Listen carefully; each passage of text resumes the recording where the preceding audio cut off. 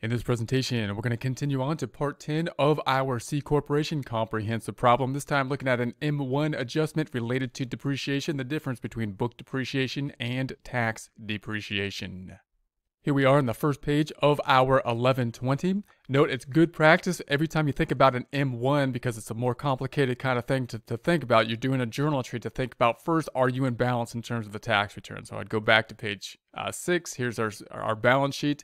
We are starting off in balance. We have the book income tying out at the 1461500. Scrolling down, that's the 1461500 down below.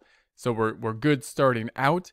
If I go back to our return, the things that are going to be involved here is that we're going to have the depreciation on the books at the uh, 2976, part of it being recorded on page one. We overrode this, so we're going to be dealing with that and we're going to be dealing with the amount that was recorded on the 1120A. That's recorded here, the 235714, matching the depreciation on the depreciation schedules for a book basis, where we have, if we scroll to the right, that 2976 and the 235714 here. So we're going to be dealing with those numbers, and if we go to the 1120 down to page 6, we'll be dealing with the uh, accumulated depreciation as well as the M1s. Now, depreciation is going to be one of the more complicated M1s. So we're going to deal with the complicated one first, and then we'll the other M1s should be easier after that point in time. Why is it complicated? We have the complicated schedules down here for the depreciation schedules. If you have a difference between the book depreciation and tax depreciation, which doesn't have to be the case for smaller corporations, but if it's a larger corporation, they're probably going to be having uh, their book depreciation on more of a generally accepted accounting principle, which has the matching principle, which would which would use GAAP uh, principles, which are going to differ from the tax return. So so you're gonna have to you're gonna have to deal with that. That's going to be one difference. So we'll have that difference there. Also, when we deal with this, it's going to have um, if we have sales or purchases, that will affect the cost, the uh, accumulated depreciation and that's going to be a, fa- a factor as well. So, in other words, we'll have two M1s with the sales activities and the depreciation as we allow the software to kind of do the work for us. So, we're going to let the software have all the information of these two schedules, which are complex, and then ask it to just basically do the adjustment for us, which is great. However, when we let the software magically do something for us, and it doesn't turn out right, we don't know really exactly what happened. It's hard for us to see what happened. So therefore, what we want to do is is allow the software. I want to make the software do it one thing at a time, so that I can then reconstruct it in uh, Excel and verify what's going on as it goes, so I can understand it. I can explain it if if I need to to a supervisor or an audit in a future uh, standpoint, a future time, and so we can understand the comprehend how the M1s will work. Okay, so I'm going to go back up to page one. I'm going to scroll down to the 2976. Now, this 2976, you'll remember that we overrode this number. I'm going to remove the override and see what the software does for us. So I'm going to go back to our data and I'm going to go into the deductions.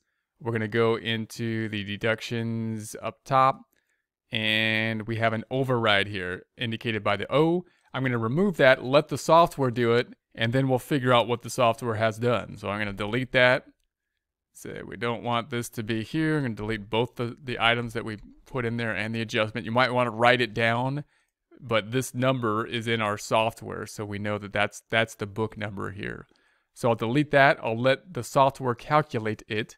So now it's at the 4373. Does that make sense? If we go to the depreciation for a tax basis now, rather than the book basis, we have the 4373. So that makes sense.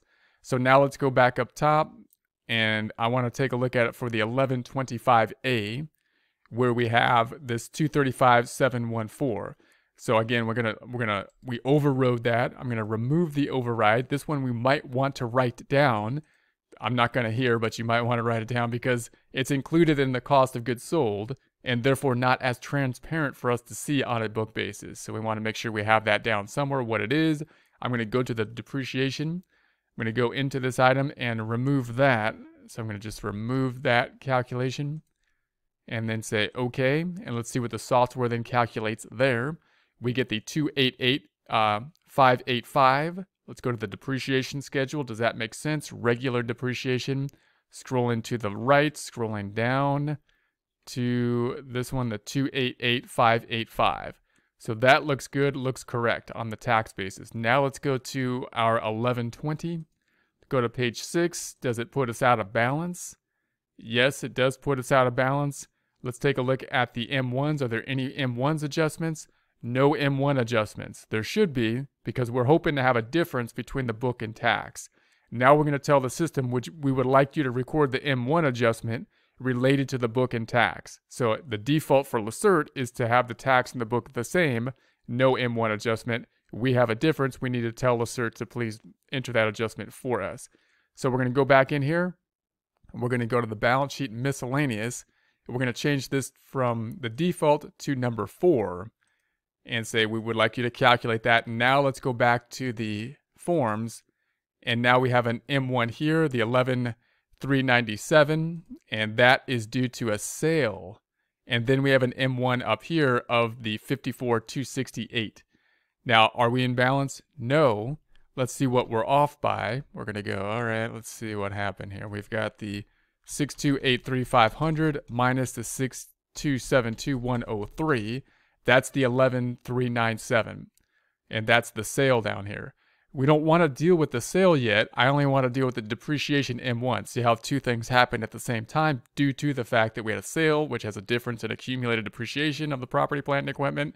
I don't want to deal with that yet. I just want to deal with this one M1. I'm going to therefore negate this M1 by going right clicking and jumping to it. And then I'm going to say that we want to say this is going to be, uh, I'm going to put it down here in the other I'm going to negate it by saying negative 11397. We might put something like temp adjustment, right? And then I'm going to say okay. We could put it in our notes too, uh, but I'm not going to do that right now. I'm going to go back to the forms because we already put in the notes that we're going to be dealing with the sales M1, and we'll do that in the future presentation. So now we're at the 54 269 and that puts us back in balance up top. So there's going to be the M1 adjustment uh, that we have. So now let's see if we can mirror what happened uh, in the software and say, okay, what you know, what did the software do? That's as clear as we can do it one M1 at a time on the software. It's still a little confusing though. So let's go back over here.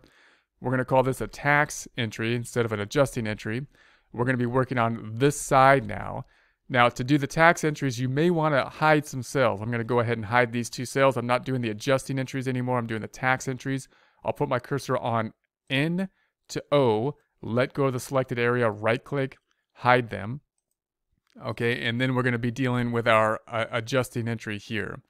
So the adjusting entry, if we go back, I'm going to say, all right, now that now the way I would typically do this, instead of entering the difference between the two, is to simply reverse the book uh, depreciation and then record the tax depreciation.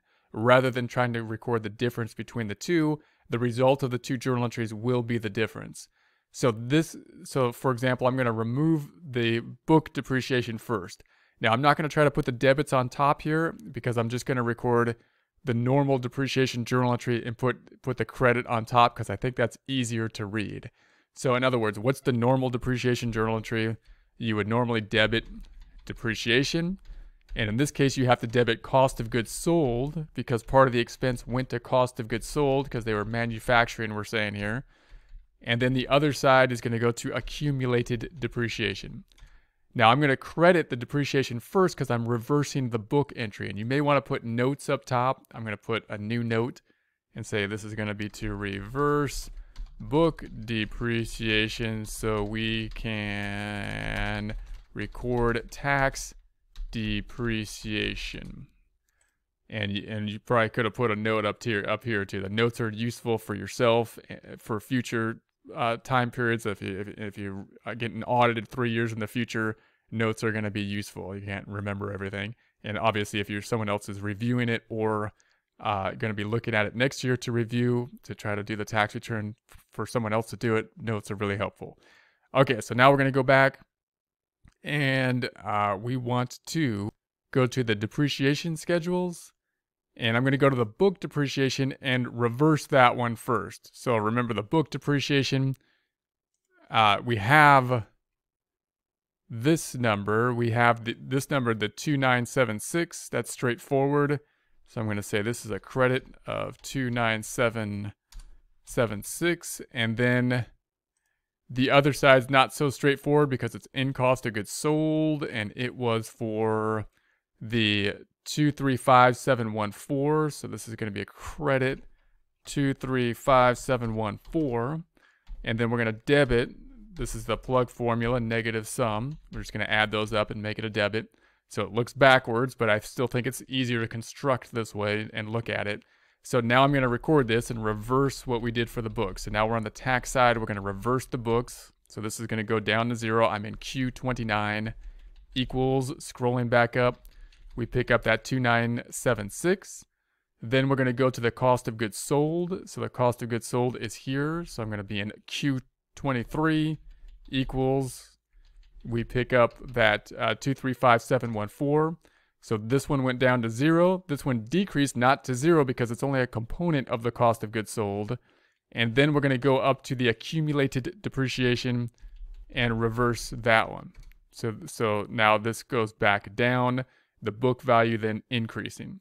Now we're going to record the tax, record it on a tax basis. Same accounts involved, but this time in the you know in the right order, debiting, debiting and crediting the accounts we would expect. It's a tax journal entry, not an adjusting journal entry. Going to put a note to it. We're going to say note record tax depreciation. And then we're going to pick this up on a tax basis. So I'm going to go to the tax basis up top. And let's go to the to the second one, the regular tax basis. So we have the 4373. So I'm going to say, all right, this is going to be depreciation 4373. The amount that's in the cost of goods sold, if I scroll down, is going to be 288585. So this is going to be 288585. Is that right? One more time. 288585, right? And then we're going to credit the plug formula, negative sum, and that's going to be the 29298 uh, 958. Let's record this. I'm going to go to the debit for depreciation. Something is in it, so I'm going to double click on it, double click on it, go to the end of it, say plus. It's always a plus on, on this worksheet to record in this uh, column. And that'll be the 4373. So there now that's on a on a tax basis now. Then the cost of goods sold. Here's the cost of goods sold here uh, cost of goods sold here. Something's in the column, so I'm going to double click on it, go to the end of it and say plus, scroll back up and pick up that 288585, uh, yeah, the 288585, and that increases here. And of course, that's only a component of the cost of goods sold. Then the accumulated depreciation, something's in it. We're going to record this, double clicking on it, going to the end of it, plus picking up that 292958 and enter. So there we have it. Now these are our changes now, the difference between reversing the prior journal entry and recording the current journal entry. So if we if we now take a look at the uh, tax return, we're going to say, all right, let's go back up to the 1120.